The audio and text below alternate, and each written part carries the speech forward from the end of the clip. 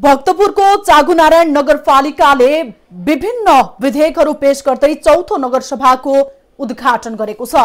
शुक्रबार TV today टेलिभिजनसँग कुरा गर्दै नगरपालिकाका प्रमुख सोम प्रसाद मिश्रले पर्यटन प्रवर्धन सम्बन्धी प्रस्ताव नेपाल इन्जिनियरिङ कलेजको मोडालिटी प्रस्ताव बालुवाखानी सञ्चालन लगायतका विषयमा छलफल गर्ने जानकारी दिनुभएको हो। नगरसभामा चालु आर्थिक वर्षको आमदानी र खर्चको मध्यावधि पनि समीक्षा गर्ने प्रमुख मिश्रले बताउनुभयो। सामूहिक विषय भनेको पर्यटन प्रवर्धन गर्ने सम्बन्धमा एउटा प्रस्ताव अघि सम्झौता पेश भएको छ त्यो अनुमोदन गर्छौँ। नेपाल इन्जिनियरिङ कलेजको बारेमा हामी केही एउटा मोडालिटी प्रस्ताव गर्छौँ। र अघि बैठकमा उठेका बालुवा खानी सञ्चालन सम्बन्धमा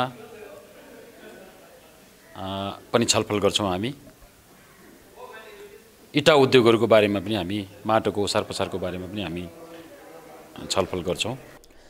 नगरपालिकामा पछिल्लो समय सौहार्दपूर्ण वातावरणमा कामहरू सञ्चालन भइरहेको उपप्रमुख बिना बास्तोलाले बताउनुभयो।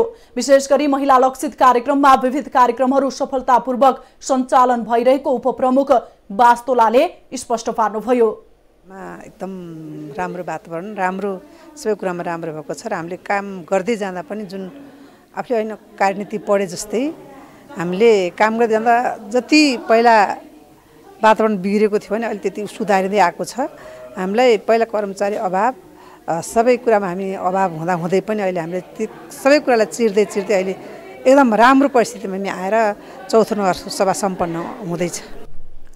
नगरसभामा पर्यटकीय स्थलहरूको प्रवर्धनसँगै नगरपालिकाले सञ्चालन गरेका महत्वपूर्ण आयोजनाहरूबारे पनि छलफल गर्ने प्रमुख प्रशासकीय अधिकृत चिरञ्जीवी तिमिल सिन्हाले जानकारी दिनुभयो।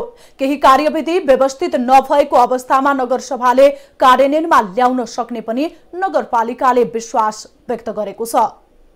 चाहिँ कार्यपालिकाले सभासमक्ष प्रस्तुत पनि गरेको छ। र यो चाहिँ विशेष गरेर अहिले हुने यो हिउँदमा सम्पन्न हुने सभा चाहिँ यो बजेट अधिवेशनको रूपमा रहँदैन। यसले कार्यक्रमहरू धेरै धेरै तय गर्दैन र विगतमा तय गरेका कार्यक्रमहरूको समीक्षात्मक टिप्पणी र त्यसमा केही सामान्य सुधार गर्नुपर्ने कुराहरूलाई मात्रै फोकस गर्छ ध्यान दिन्छ जोड दिन्छ।